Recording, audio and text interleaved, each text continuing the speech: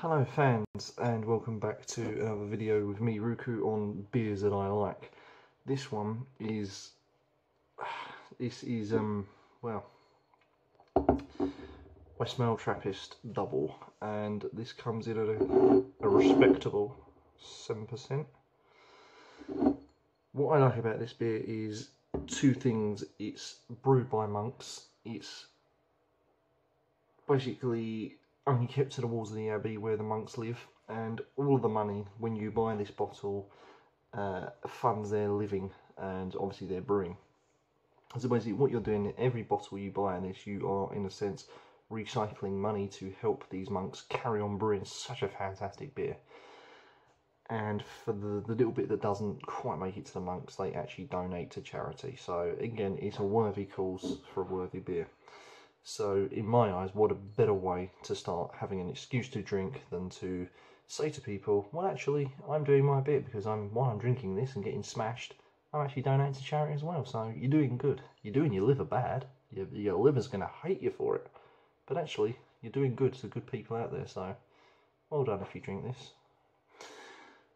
I really, really like the the flavour that this this brings. It's it's fruity, it's warming, and um, to me the, the fruit that you do get obviously you have to store this at the right temperature. It has to be sort of quite warmish and I know it sounds weird again we've discussed this on previous videos but it kind of I don't know it has to be at that warm temperature to really appreciate that flavour and the, the, the fruits that come through really do work over time. Not only that but you've got a good head and the head is light and foamy so it really does do justice on both ends of, the, the, the palate. It works really well.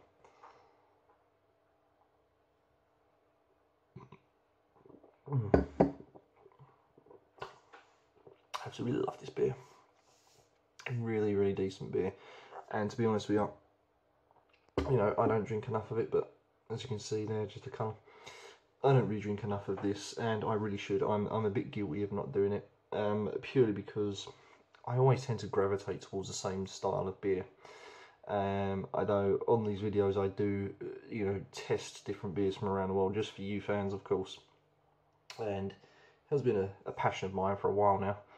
Um, you know, I do love love beer. You know, I'm a beer man um, through and through. There's not a lot I don't know about beer, um, except for some pronunciations and uh, obviously certain types of beer where they're perhaps brewed and what the history is. I'm not a history buff, as it were. I don't know everything about history. In actual fact, I'm really shit at history. But to me, this beer just keeps calling me back. It's one of those beers that, you know, is meant for indulgence. You can't go too mad with it. You have to really appreciate the flavour, the taste, and you have to have it on like a long, slow day so when you're trying to chill and you're, you're in good company, maybe you've got a nice fire going, or you know you've got your heating going, nice winter warmer. You know you want to be somewhere on the sofa, chilling, maybe watching some sports or whatever, or maybe you're with your your other half and uh, you want to just snuggle. That's an excuse for all the ladies now to go and grab their men. Come on, let's go on the sofa and snuggle. Um, by all means do it ladies because you know if a man doesn't appreciate this then there's something wrong with him. And also he should value your time too. But for me it's just a cracking beer that's got full flavour full body. It does good um, to the monks. It does well to charities that this gets donated to or a percentage gets donated to. Um, but it doesn't do your liver any good because being 7% it's moorish, and you can just drink drink drink so to sum it up, it does charities good, but does your liver bad.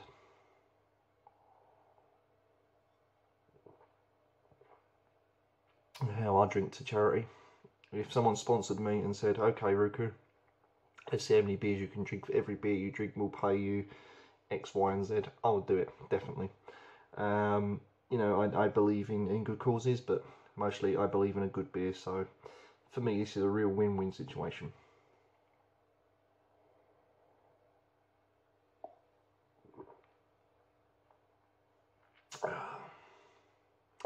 Meant for indulging, meant for relaxing, full of flavour, brewed by monks. love it. Really do love it.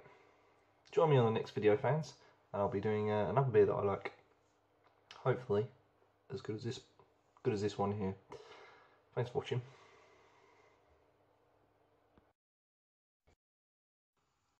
To me, I had to include this in my favourite beers of all time because Duvel was where it really all began. Way back in 2007, um, I've already told this story, but way back in 2007, I discovered a big, big bowl of this, and it was called. We, at the time, me and my friends, we, we didn't realise what Duvel was. We thought it was a German beer. How wrong was we? Got halfway down this 750ml bottle, 8.5%, and we were fucked. Never drunk anything like it, and it wasn't, you know, something that we'd normally pick up. And ever since that day, I've always loved Duvel. I've always drunk it, and I always will till probably the day I die. I just love this beer. Brewed by the Moortgat family, they've done a fantastic job. Passed on generation to generation. Same old recipe, same old glass. Can't beat tradition. I love it because it takes on two different personalities, and not only that, but the head is always decent. The head is always thick. Um, it's just a fantastic beer. To me, it's my ideal beer, or one of the ideal beers out there. Reason being because you've got the strength is 8.5. It doesn't taste strong. Number one. You know, you can get pretty pissed on this, but you don't get so much of a nasty hangover. Number two. And also, I just love the foamy head. Number three. And finally, number four is the fact that you can remix it, which I'll just show you in a little bit. But for me, Duvel has always been a part of my life. It's they class it as an ale, but uh, to me, it's more of a beer. Tastes like an ale-ish, depending on what way you look at it. Mm. Tastes very different to most beers I've had, but I've had some fun times on Duvel, and it is arguably one of my favourite beers of all time.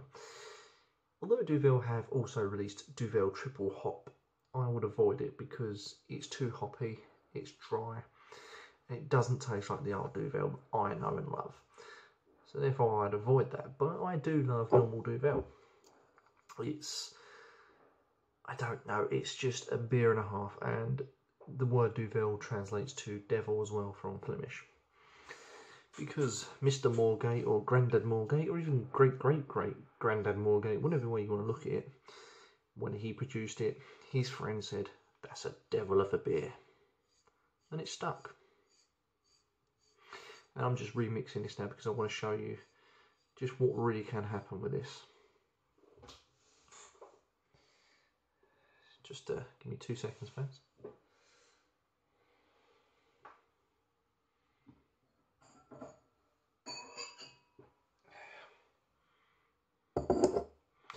This is what happens when you remix.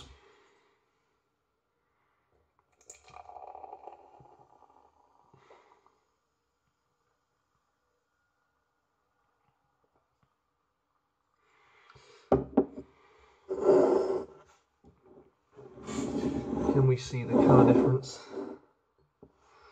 Slightly darker, lighter, light, completely cloudy. Just another reason why I love Duvel. And that is because you can do this, you can remix the sediment, and it's this remixing that has made me an absolute addict on this stuff. And I will drink it purely for this, and it tastes so much different with it remixed. So you've got this beer that is different, almost sharper ale-ish. This is slightly sweeter and takes a twang off the edge. But I wouldn't drink it any other way. I'm addicted to remixing it. Why can you remix this so well? Well, it's because of the yeast in it. You can actually remix the sediment, and that is basically rebrewing it again and again and again. So you can almost, if you don't like the original taste of Duvel, you can do what I do and remix it and, and try that, and it's a little bit more, in my eyes, nicer. I'm not saying there's nothing wrong with normal Duvel, but I do prefer the remixing. 8.5%, it's just decent strength. The glass is, is in my eyes, good. It's nice to hold. Just an all-round decent beer. And as I've said it again, I'm going to say it again. I will drink it till the day I die. I really would. Mm. Just so much better.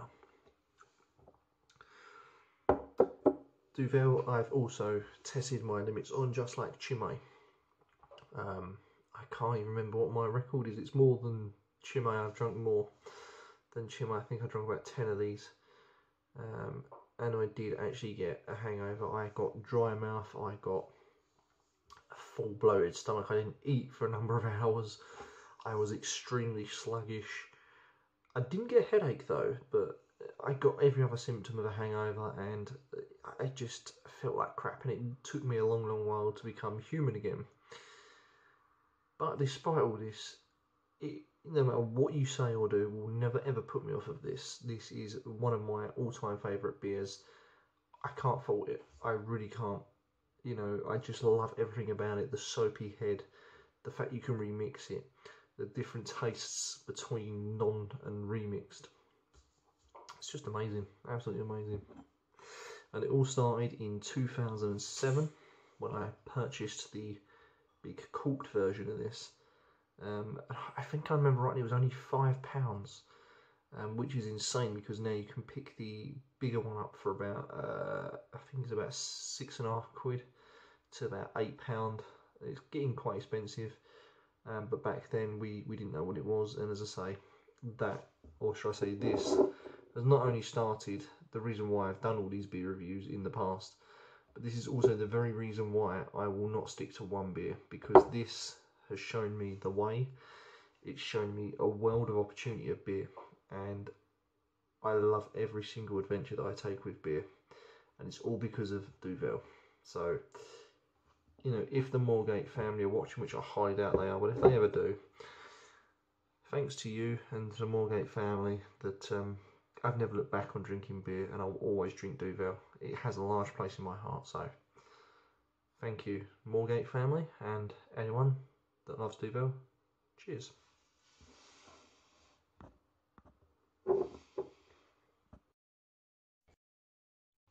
Why do I love Devowie so much? Well, to be honest with you, it's simply the taste.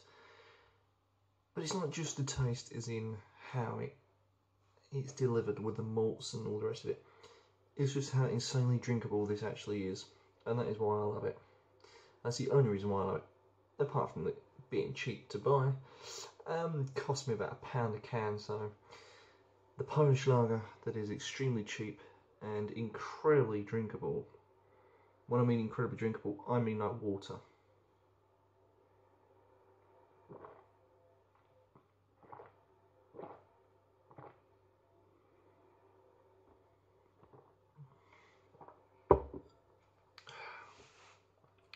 Too easy. Very sweet, but too easy to drink. That's why I love the Devowie.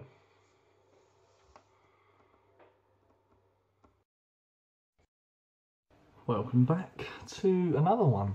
Um, following the trend, I um, I love the monks. Um, I just they've never ever produced a shit beer. I don't know why I'm whispering.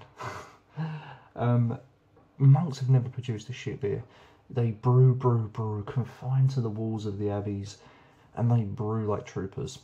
And a classic example is, I just, if this was real, if this beer was a woman, I would be marrying it very, very soon because this is one of my absolute all-time favourite beers.